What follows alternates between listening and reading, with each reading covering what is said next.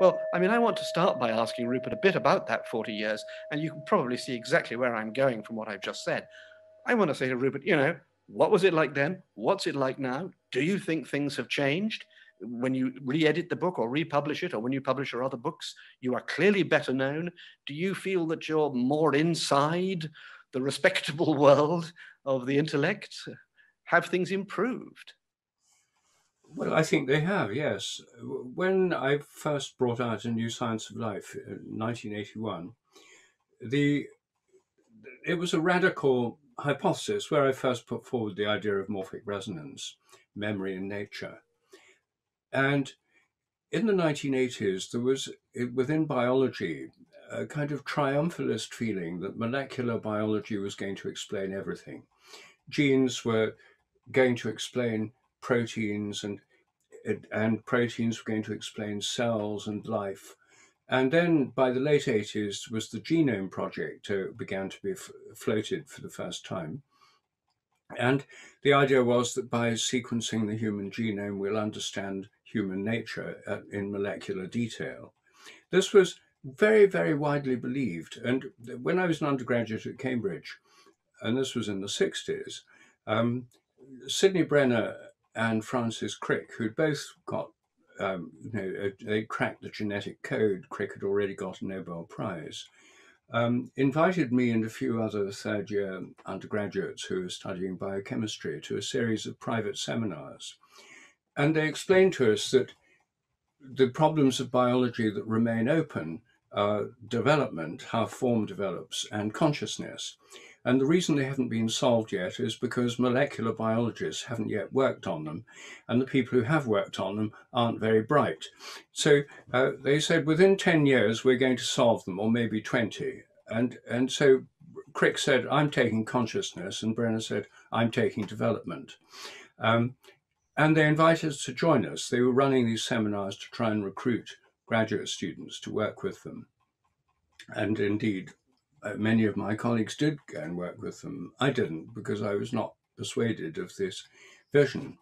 But the, they really believed that within 10 or 20 years, consciousness would be solved. And Crick did his best. Brenner did his best. He worked on a tiny nematode worm. He got the Nobel Prize for um, studying it in immense detail. We know the genome, we know the detailed anatomy. We still don't understand behavior. We still don't understand development. We still don't understand consciousness. And I think there's been a gradual realization that this isn't working. The, sol- the solving of the genome project, when it was announced, the human genome was announced in the year 2000. Um, there was an immense disappointment. People thought that there were going to be 100,000 genes. You were going to have specific genes for all sorts of things. You'd be able to patent them and make a fortune. Turned out we only had about 20,000 genes, less than a sea urchin, about half as many as a rice plant. And um, that um, people couldn't make fortunes. And Craig Venter, who had the private genome company, uh, um, Celera Genomics, um, found the share price crashed from about $45 a share to about nine cents because the markets realized this just wasn't going to go anywhere. And at least he has a sense of humor. In an interview afterwards, he said, I'm a guy who's made a million dollars the hard way by working my way down from a billion. Um, and uh, the, so there was uh, the, the then there's the missing heritability problem came up a few years later. It turned out that genomes didn't explain more than about 10% of most forms of inheritance. Things like schizophrenia, breast cancer, it's less than 10%. Height, it's just a little bit more than 10%. But that means that most of inheritance is unexplained, and this is called the missing heritability problem. Um, and meanwhile, the recognition of the so-called hard problem in consciousness studies um, has led to people realizing that you're just not going to be able to explain the existence of consciousness by doing more brain scans or doing more neurophysiology or studying more, more neurotransmitters. And meanwhile, um, the, there's been, thanks to people like Pim van Lommel, there's been a great growth in consciousness studies where people, instead of studying behavioristic reflexes, as many did in the 20th century, have looked at the actual phenomena of consciousness, including near death experiences, mystical experiences, psychedelic experiences. Um, and it's become clear that this goes way beyond a narrow mechanistic roadmap. So I think that for all these reasons, there's been a, a, general opening up in, in the realm of possible scientific debate. And the hard problem has led to a rise in panpsychism, which has now become quite fashionable within the academic world, which is would have been very surprising 40 years ago. I mean, panpsychism was a, a tiny minority position, and most people had never even heard of it. And those who had probably belonged to things like the Theosophical Society or small esoteric groups, but not um, mainstream academic philosophers. So I think all of these things have led to uh, uh, an opening up. Uh, there's still within the world of science, there are still very strong taboos. You still can't mention the word telepathy without derision uh, in most universities. Um, there are there's a still a very intolerant atmosphere about some of these prohibited areas, but privately, many scientists are much more open to them, even if in public they still observe the conventional taboos. So you, I mean, really, you're saying that there's been a crack in the dike or something, that there's a, there's some opening for for the more open mind. Uh, but it, it, it, somehow we feel a little bit cheated, don't we? Because I mean, I only recently realized that Max Planck, I mean, Max Planck had said that consciousness was primary. I mean, and lots of these people. I mean, were they hiding, or were we? Was it concealed from us, or? Well, a lot of um, the physicists, quantum founders of quantum physics. I mean, Niels Bohr, uh, um, and and Schrödinger and Heisenberg uh, had rather broad philosophical views and um, did think of consciousness as important or primary. Um, I think that in some ways, you see, physics has opened up uh, from the quantum revolution, the relativity revolution, through the 20th century up till today physics has been opening up. There's been, you know, cosmology, the Big Bang cosmology, evolutionary cosmology. Now, many physicists think in terms of multiverses. They recognize that 95% of the universe is utterly unknown to us dark matter and dark energy. Um, I mean, this is the official view that 95% of it is dark matter and dark energy, and we haven't a clue what they are. So, are they conserved? Is the total amount always the same? Uh, what are the properties? Can they be converted into regular matter and energy? Nobody knows. It's as if physics has discovered the cosmic unconscious. Um, so we've got, uh, and and they talk in terms of multiverses. Superstring theory has ten dimensions. Again, you know, forty or fifty years ago, uh, people working in psychical research used to say things like, well, maybe there's an extra dimension which mm-hmm. could help explain these things. Well, in modern physics, extra dimensions come cheap. Um, there's just lots of them. Uh, so physics has opened up in many ways, but biology went in the opposite direction in the 20th century. At the beginning of the 20th century, there was um, a strong vitalist movement where people thought there was more to life than just physics and chemistry. Um, Bergson's the theory of memory not being stored in brains, and uh, and of course Henri Bergson was a member of the Society for Psychical Research, indeed a president of it. Hans Driesch, the great vitalist biologist, was also a president of the SPR. Um, and there, there was also a widespread interest in memory in life and the inheritance of acquired characteristics.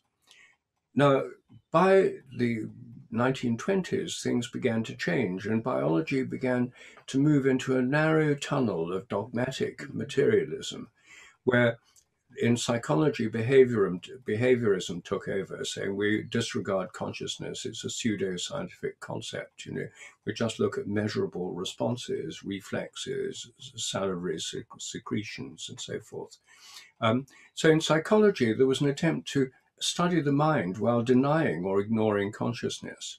Um, within biology, the vitalism was treated as an appalling heresy that had to be stamped out and the last nails knocked into its coffin.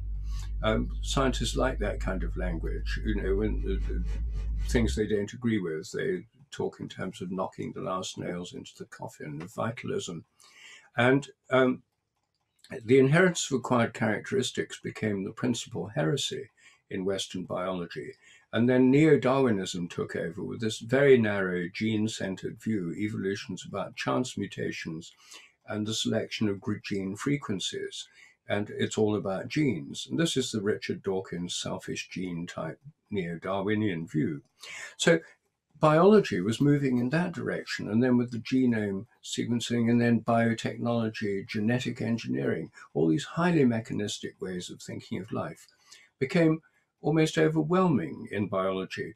When I was an undergraduate at Cambridge in the 60s, um, in the botany department, where, where, I studied botany there, and in the botany department, there was E.J.H. Corner, the professor of tropical botany, who'd written, spent years in Malaysia and was an expert on the evolution of palms and tropical flora. There were people who worked in ecology in the field. The botanists who Oliver Rackham, who knew the names of plants and the history of the countryside, and so on. People who actually knew about plants, who you could ask what the name of a plant was if you didn't know. But uh, these were all uh, replaced in the 1980s and 90s and 2000s by molecular biologists who couldn't recognize a plant and who knew nothing about they were chemists or they were physicists who knew nothing about plants or ecology or tropical plant families or fungi or anything like that. It was all a matter of molecular biology and molecular details. Um, and they changed the name from the botany school to the Department of Plant Sciences.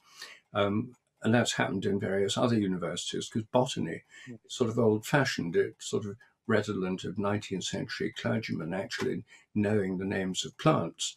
Um, uh, whereas plant sciences is sort of hard molecular stuff all about genomes and, and so on. So this um, takeover basically of all of biology by molecular biology uh, forced it, in old style biologists who were much more holistic in their thinking and more ecological in their thinking, um, were died off or were squeezed out. And so one was left with this very narrow reductionist approach. The same happened in medicine, where medical research became a matter of looking at molecular details of drug activity or genes or genomes and, and so on. It's very symptomatic that the Medical Research Council has closed down most of its institutes and centralized them at a vast new center right next to St Pancras Station, the Francis Crick Institute. Well, Francis Crick had a PhD in physics. He was a crystallographer who worked out the structure of DNA, but he was never a doctor. He never did any medical research. And he's the founding father of British molecular biology. So um, the Francis Crick Institute it says on the on the over the door what it's about. It's about molecular medicine. Um, and, you know, they're not going to be studying Chinese traditional medicine, acupuncture, whether homeopathy works beyond placebo effects, and and, and Reiki, and anything like that in the Francis Crick Institute. Um, so there's a curious way in which biology went in the opposite direction to physics, into this much, much more narrow, reductionist, materialist direction. And many biologists were militant atheists. Francis Crick himself was a very militant atheist. And their aim was to prove materialism through biology, to get rid of the last idea that could be anything like a soul or anything mysterious about life that couldn't be explained in molecular terms. It was an ideological mission. You don't meet so many of these ideologically driven people now, but yeah. there were a lot of them in biology uh, in my generation. I mean, Dawkins is one example, Crick's another. Uh, Lewis Wolpert, the late Lewis Wolpert, was another.